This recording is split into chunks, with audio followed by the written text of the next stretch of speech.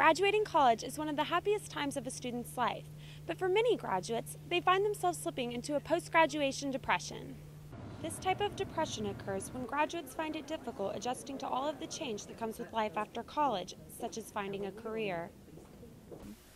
I think that if there were more jobs available just on a bachelor's degree, I would have chosen to take a break and work a little bit before coming back to do my master's. But um, in my hunt for a job, there weren't really that many who accepted just bachelor's degrees. It's important, however, for students to know they can overcome this slump with proper planning and preparation. So while you're coming out of your coursework and you're hoping to do one thing and you've got a pretty, you know, tight focus on that one thing, expanding that out a little bit and understanding a variety of ways that you can move into the marketplace is very important.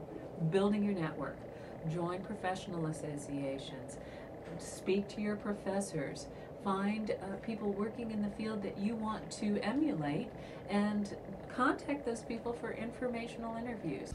Many campuses have career service centers that offer resume building, mock interviewing, and career counseling, much like the center here at GSU. As May graduation approaches, it's important for students to know they're not alone and there are resources available to help them navigate through this next phase of life. For GSTV News, I'm Aurora Chase.